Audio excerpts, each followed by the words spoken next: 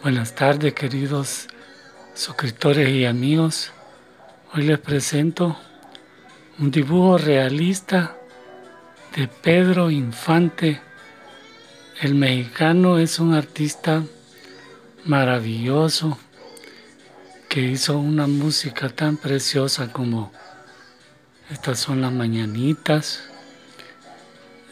y muchas canciones bien bonitas famoso, lo admiramos aquí en El Salvador y lo admiramos y lo admira en Guatemala, en Costa Rica, en Panamá, en Honduras, en Nicaragua, en Perú, en toda Centroamérica lo admiramos.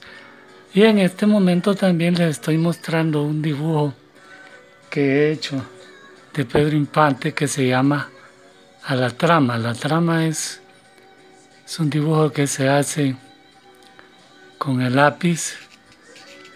Eh, uno raya así a unos 45 grados, puede rayar a 90 grados, puede rayar en cualquier dirección que uno desee, ese se llama trama. Pues aquí les he hecho yo un dibujo a trama donde uno puede utilizar el lápiz como uno quiera, a la dirección que uno quiera, sin miedo.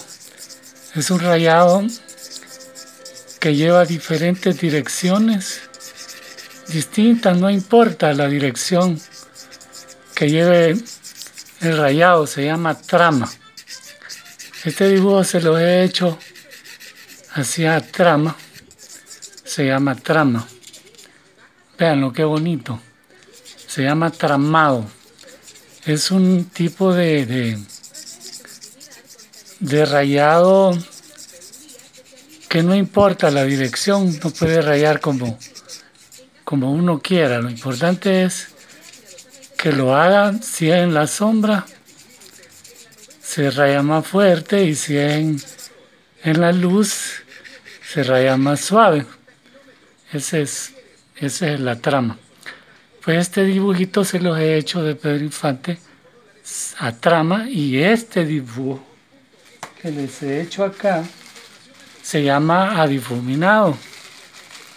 En este difuminado uno puede utilizar si uno desea un hisopo porque el difuminado es cuando ya se difumina el lápiz de modo que desaparezca todo el tramado, al ser desaparecer el tramado, eso se llama difuminado y uno une las sombras con la tinta, con la media tinta y con la luz, de modo que no se note al final que sea una sola unión, esa es es difuminado.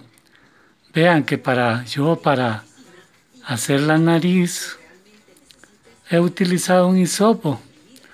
Uno toma del mismo